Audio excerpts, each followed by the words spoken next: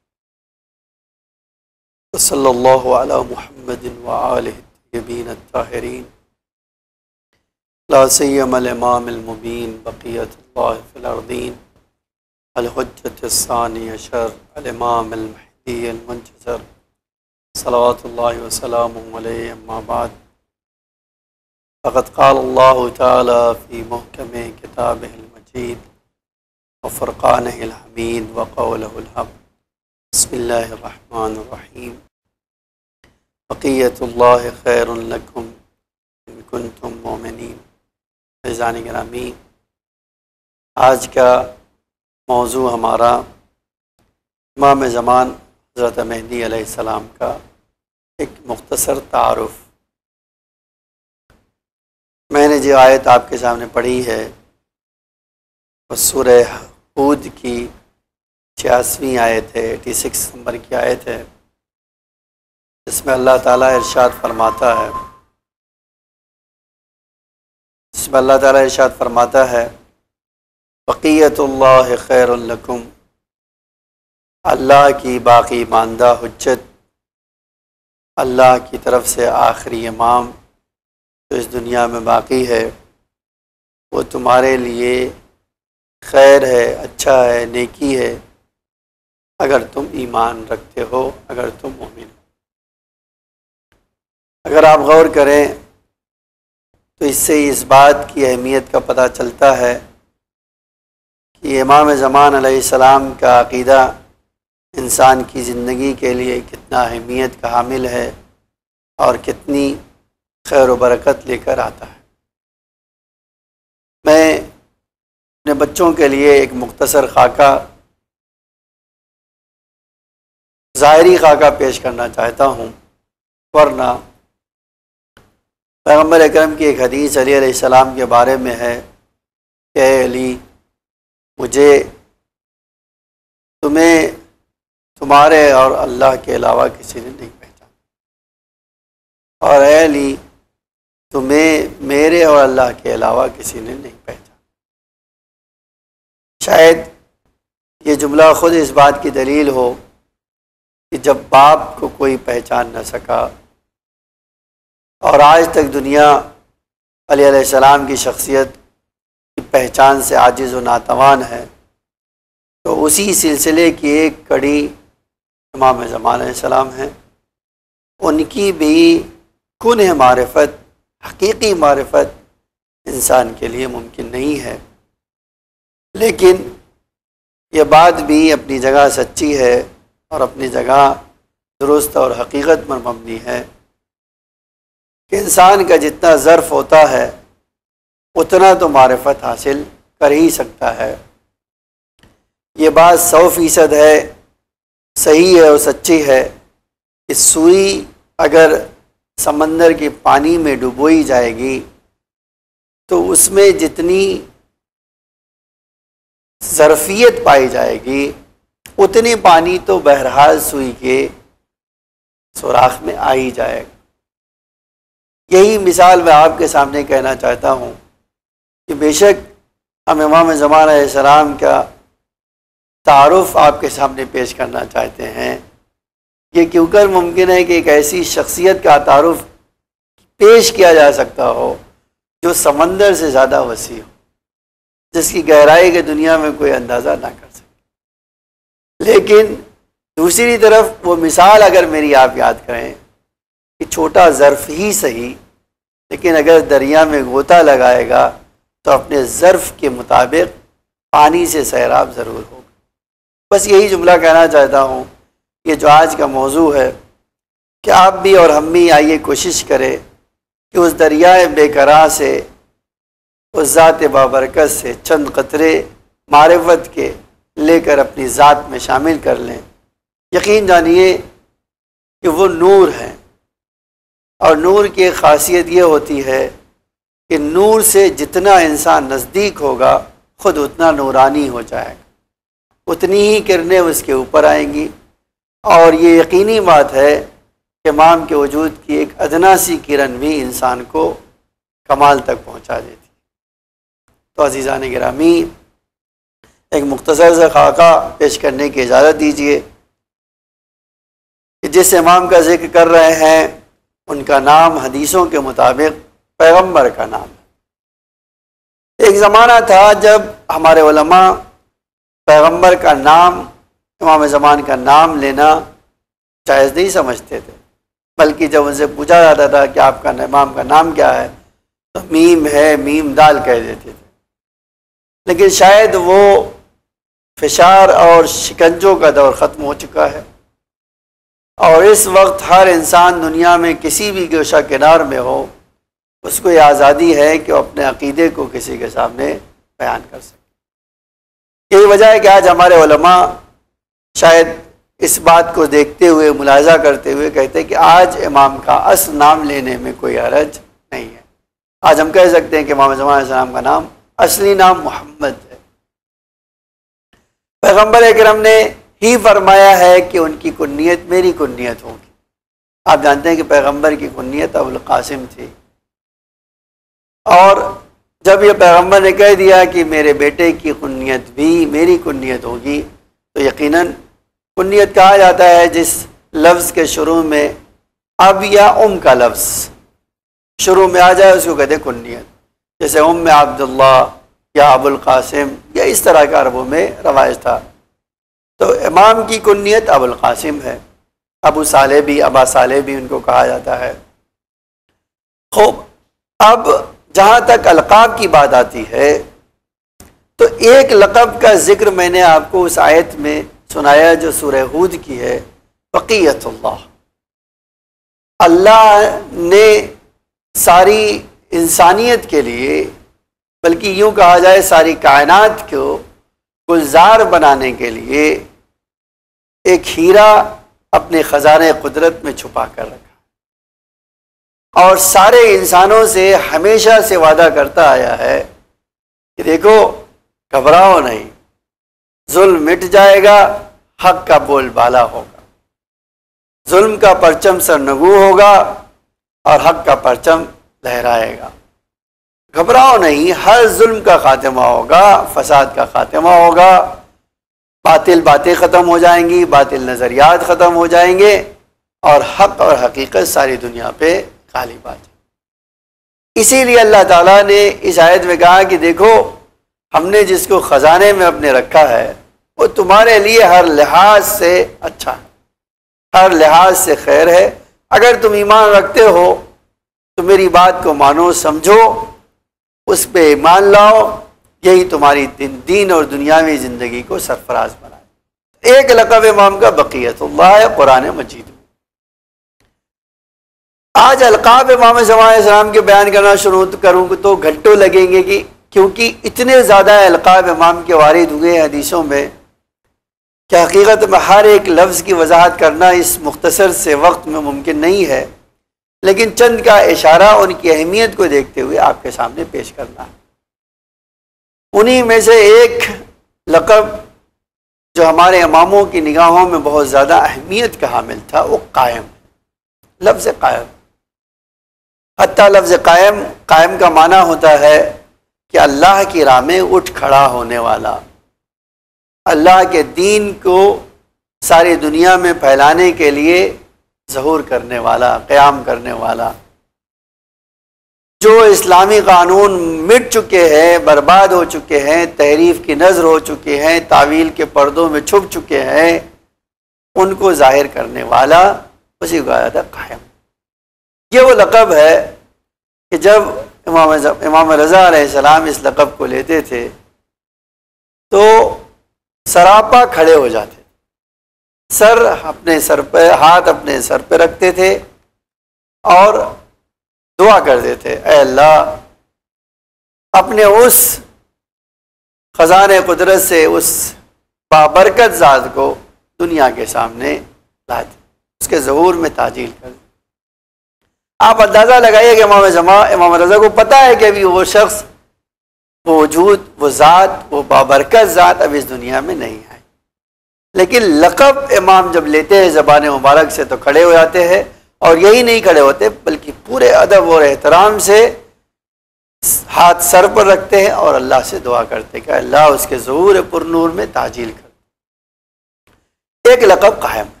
उन्हीं में से एक लकब, अगर आप देखें तो वाक़ महदी है।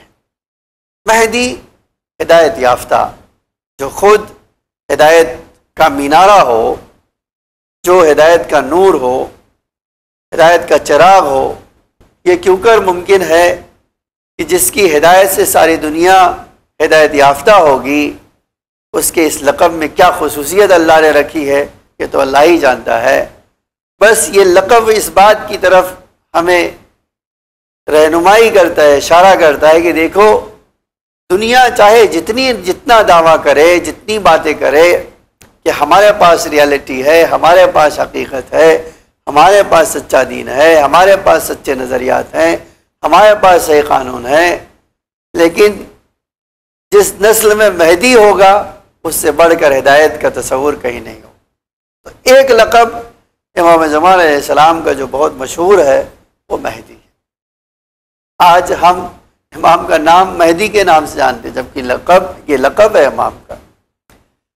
एक चीज़ इमाम ज़मान कहा जाता है, ज़माने का इमाम।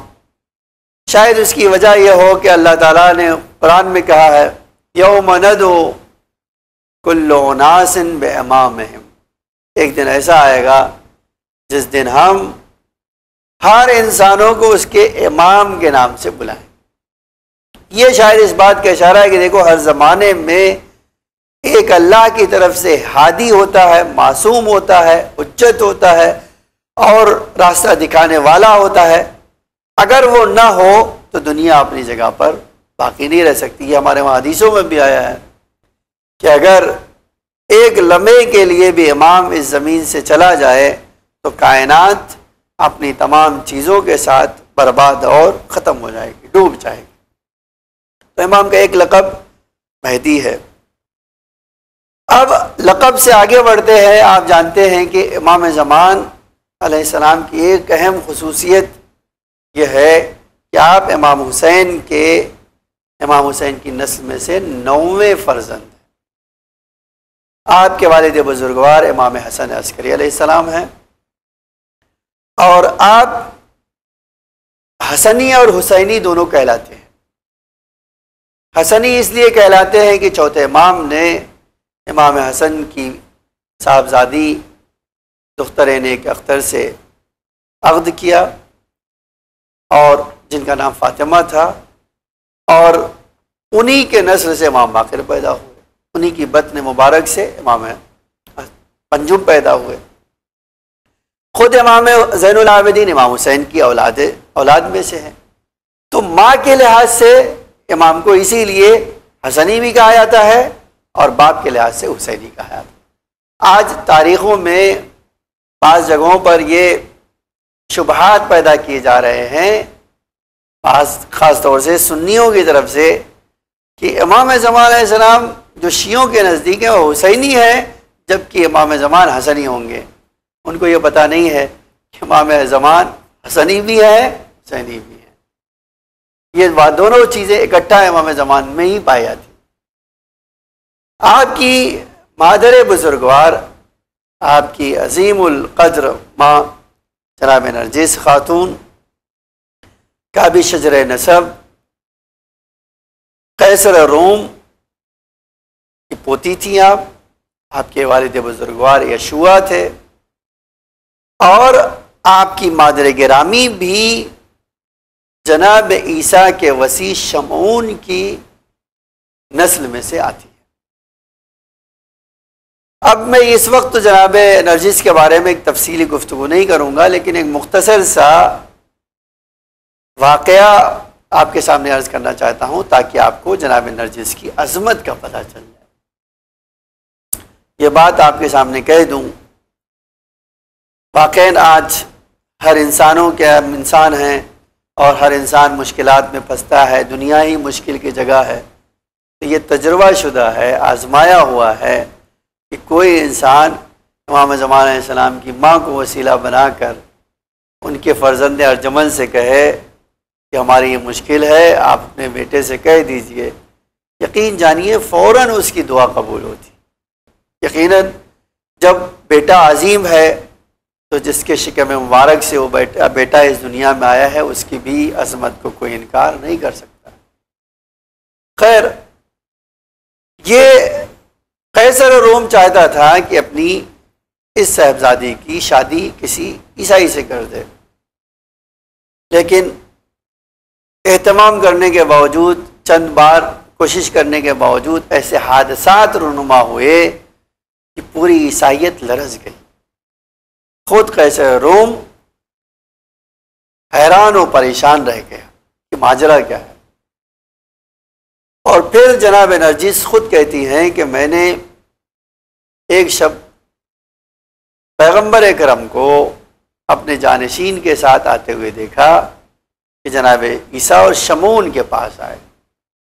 और उनका आए ईसा, हम आपके पास एक रिश्ता मांगने आए एक रिश्ता लेने आए तो जनाब ईसा ने शमून की तरफ़ देखा और कहा अरे शमून, ये तुम्हारे लिए एक अजीम खुशखबरी है कि पैगंबर अकरम खुद तुम्हारी बेटी के लिए रिश्ता लेना है।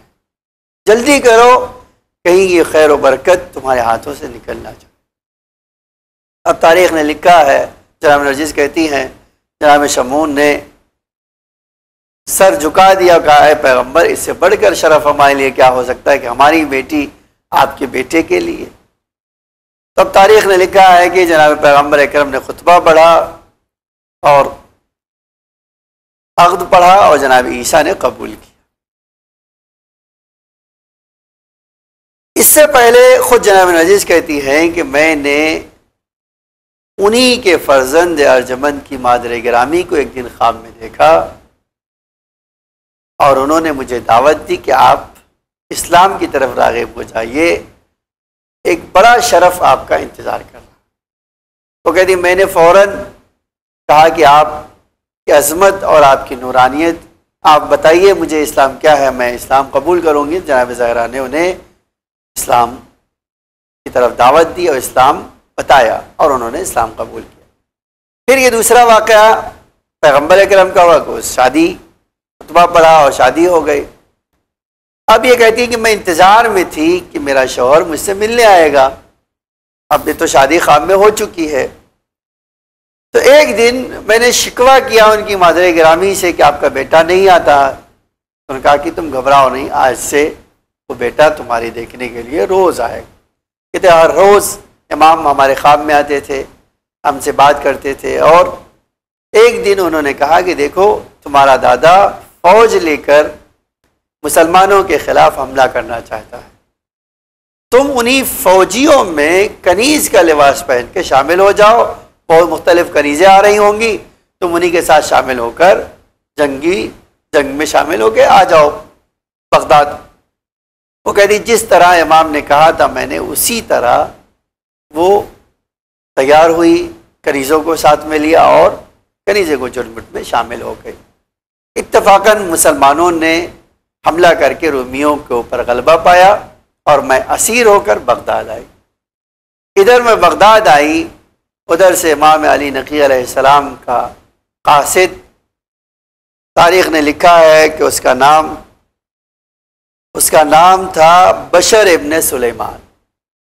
उसको इमाम ने बुलाया, कहा कि तुम हमारे बहुत करीबी हो हमारे पड़ोसी हो, तुम्हें हमें एक अजीम काम तुम्हारे हवाले कर रहा और ये बरकत और खैर तुम्हारी तरफ़ चल के आया है, इसको बड़ी अजीम सादत समझना। फरमाइए फ़र्ज़, फर्जंद रसूल, क्या खिदमत मेरे लिए है? तमाम ने 220 दीनार 220 अशरफ़ी और एक ख़त रूमी ज़बान में लिख के दिया कि जाओ, फुरात के पुल पे खड़े रहना, कश्ती आएगी, उनमें से कुछ कनीज़ें होंगी। वो बेचने के लिए रखी जाएँगी तो तुम गौर से देखना। एक ऐसी कनीज़ होगी जिसको लोग ख़रीदने वाले आ रहे हैं तो कनीज़ इनकार करती है और कहती है कि देखो, अगर कोई मुझे ख़रीदने की हिम्मत भी करेगा तो अपनी जान दे दूँगी, उसका सरमाया बर्बाद हो जाए। और जो बेचने वाला होगा, वो हैरान और परेशान होगा तो तुम जब ऐसी हालत, ऐसी कैफियत देखना तो आगे बढ़ना और 220 अशरफी की पेशनहाद करना। और जब वो कनीज़ मना करे तो मेरा ये ख़त उसको दे देना। जैसे ही तुम ख़त दोगे, वैसे ही वो कबूल कर लेगी और तुम उसको लेकर मेरे पास आ जाना। ये कहते हैं कि बशर इबन सलेमान कहते हैं कि मैं लेके गया। मैंने थोड़ी देर के बाद जो कैफियत इमाम ने जो खसूसियत बताई थी उन्हीं खसूसियत के साथ मैंने कनीज़ को देखा, मैं आगे बढ़ा। मैंने उसके मालिक से कहा कि मैं इसको ख़रीदना चाहता हूँ। कहा, क्या कीमत दोगे? कहा, मैंने वो कीमत बताई, वो तैयार हो गया। अब कनीज़ मना करती थी तो मैंने वो ख़त दिया। कहा, जैसे ही वो ख़त देखा उसने, आँखों से लगाया, चूमा और आँखों से लगाया और अपने मालिक से कहा कि जितनी जल्दी हो मुझे इसके हवाले कर दे। और देख, अगर तूने इसके हवाले नहीं किया तो मैं अपनी जान दे दूँ। वो बशर इबन सलेमान कहते हैं कि उसने मुझे हवाले किया और मैं लेकर इमाम की खिदमत में आया।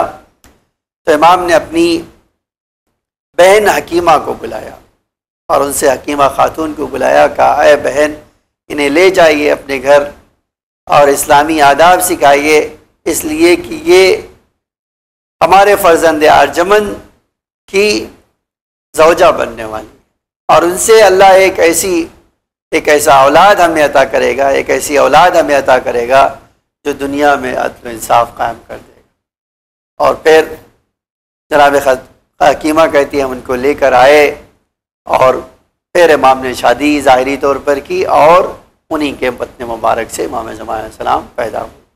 तो ये एक मुख्तसर से खाका था जो मैंने आपके सामने इमाम जमाम के लिए पेश किया। खुदावंद आलम से दस्त बदुआ हों कि खुदा हमारी इस मुख्तर सी इबादत कबूल करे और हमें तोफ़ी दे कि हम इमाम की एक अदना सी मार्फत हासिल करने की कोशिश ज़रूर करें। आखिर दावाना अनिलहमदिल्ला रबालम